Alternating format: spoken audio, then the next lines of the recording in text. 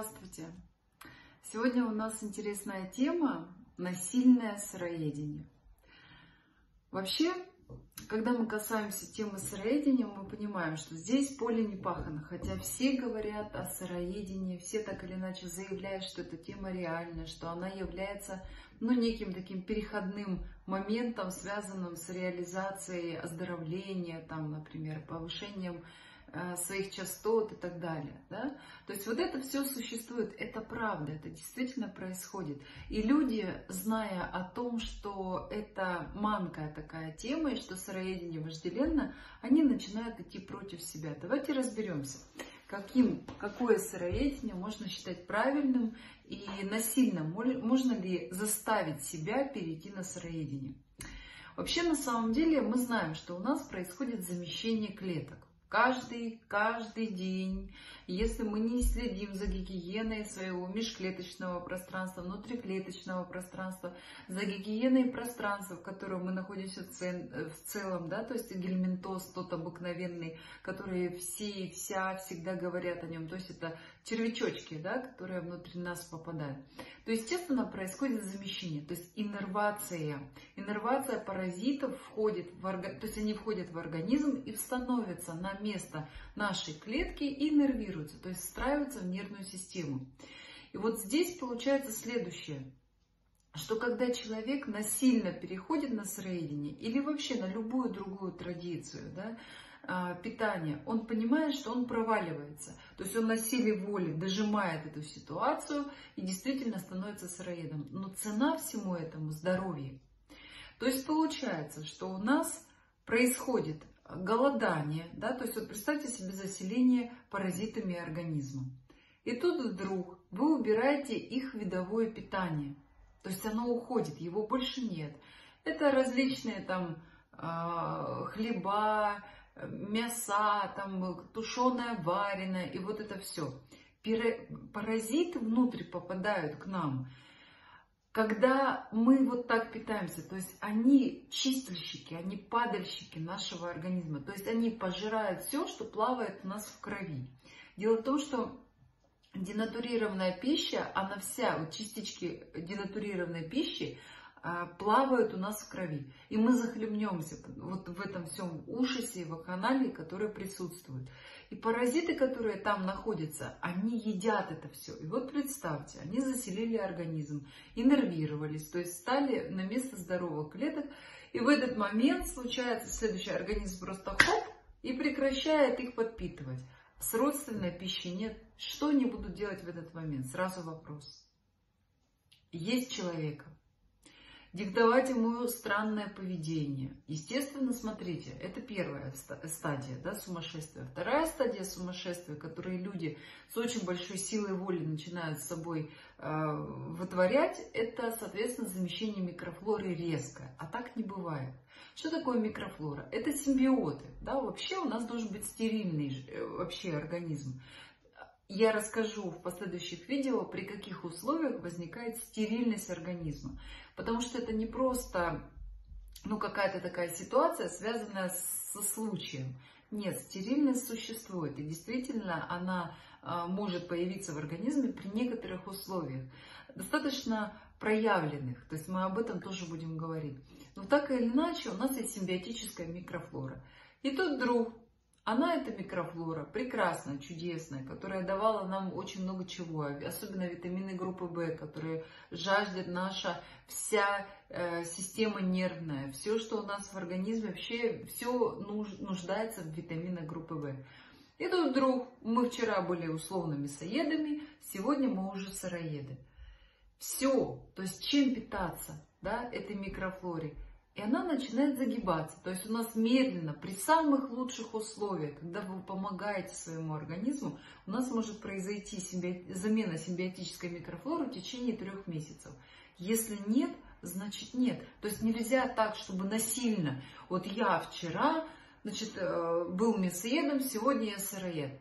Отсюда и вопрос. Те сыроеды, которые на силе воли переходят на сыроедение, как они выглядят? Посмотрите на их внешность. Естественно, тусклые волосы, да, ну это понятно, есть проблемы по волосам, проблемы с зубами, проблемы с кожей, еще много каких проблем. То есть получается вот эта ситуация связанная ну, с каким-то нонсенсом, да, вроде бы здоровое питание, а с другой стороны вот, такая, вот такой дурдом с внешностью и с органами, с поведением. То есть откуда-то берет, казалось бы, среднее легкое питание, откуда агрессия? Да, вот все говорят, что мясоеды, там, агрессивные и так далее. Откуда агрессия? Что это за такие интересные фокусы с э, психикой? Дефициты, дефициты, это страшные дефициты. То есть на первый план выходят дефициты, которые организуются за счет отсутствия правильной микрофлоры для того, чтобы из нового питания что-то взять. Поэтому насильное сыроедение, оно не, не должно быть, его в принципе не должно быть. Потому что если мы начинаем насильно себя заставлять, на э, силе воли, вот давай там сыроедить и так далее, ничего не получится. Чистки чистки и зарождение новой микрофлоры плавным, мягким переходом. Но об этом мы еще будем говорить, конечно, я всю информацию вам потихонечку буду давать. А, вы, наверное, заметили, да, что канал оживляется. По вашим просьбам, по вашим пожеланиям, конечно, я все буду делать для вас. Ну и, собственно, давать много полезной информации. Так вот, вернемся к чисткам. Вот на моем канале вы уже про касторочку слышали, уже чист, э, слышали про э, горькие травы, да, то есть это основа основ. Но есть еще техники повышения вибраций. Дело в том, что паразиты, они не живут в э, поле высокочастотном. Да, они могут привыкнуть на некоторое время, но есть граница, есть граница их восприятия, да, а потом они просто вымирают. То есть здесь что самое главное? Самое главное понять, что есть, это палка о двух концах. Можно пойти через физику к энергетике, а можно через энергетику к физике. Да? Это как рычаг физики, ну помним, да, взаимодействие э, начал.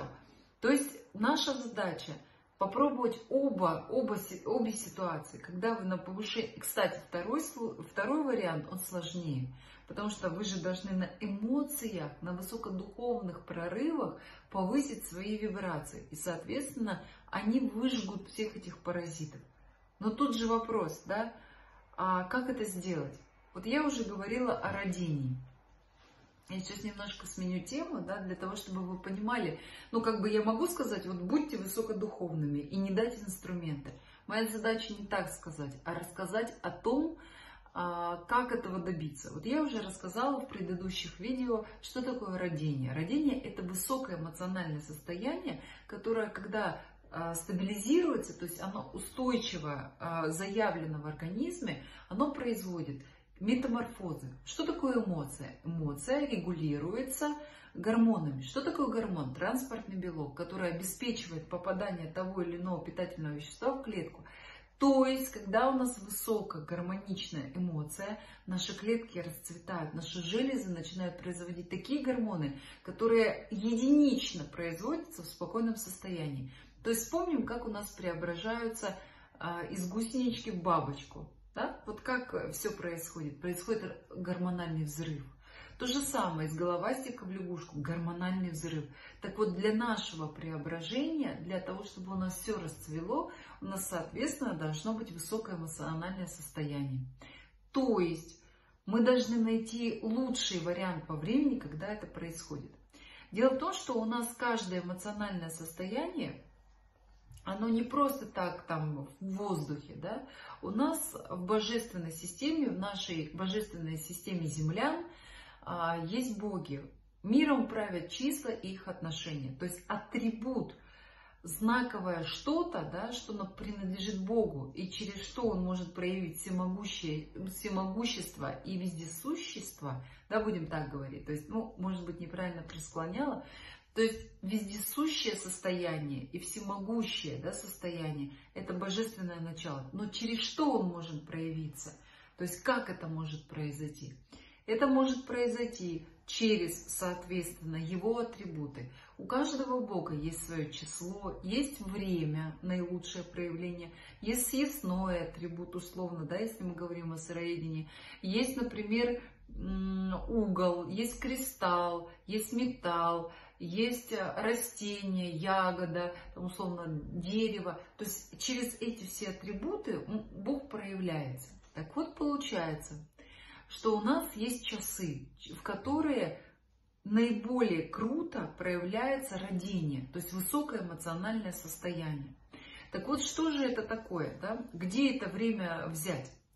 Дело в том, что в нашей культуре наивысшая точка солнцестояния в году, то есть зенит на 21 июня, то есть на новолетие, относительно всех наших перетрубаций с календарями, вот все реперные точки, все основные точки, проявленные в мироздании, они всегда запоминались нашими а, предками, да, и они в, в кола-даре, кола это круг, дар это дар, да, кола-дарь. То есть у нас календарь это изуроченное название календа... Э, кола-даря. Так вот, 21 июня и наивысшая точка солнцестояния, да, то есть зенит на 21 июня действует весь год. То есть, например, на 21 июня а, текущего года, ну вот у нас 22 да, заканчивается, э, если мы считаем от 21 июня год, да, и скоро вот будет снова 21 июня. Мы смотрим зенит, например, он в 12.30 в вашей местности. То есть первый час у вас будет правь, это час, когда наилучший вариант наладить контакт с родением богини Прави. Это свершение.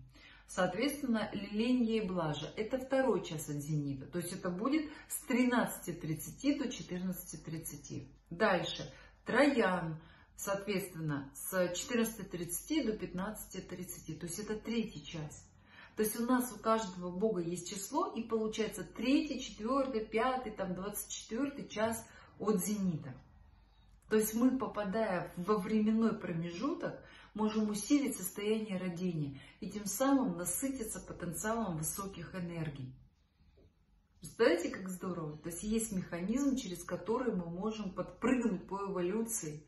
Для этого просто нужно знать разметку по времени, что на самом деле важно. Но я думаю, что насильно сыроедить теперь никто не станет, потому что на силе воли можно испортить себе организм. Можно потерять волосы, зубы, испортить свое здоровье в корне, надорвать его, там, получить э, жесточайшие витаминозы и так далее. Можно добиться того, что паразиты сожрут вас изнутри, и это худшая ситуация, которую допускать, конечно же, не стоит. Поэтому насильное сыроедение, когда вы просто носили волю, без чисток, без повышения эмоций, родения, делаете что-то, может привести к негативным началам. Ну хорошо, я буду постепенно раскрывать вам а, данные темы потихонечку, полигонечку. Конечно, мне будет приятно, если вы подпишетесь на канал и поставите лайк. Благодарю вас. Пусть у вас все ладится получается. Доброго здравия!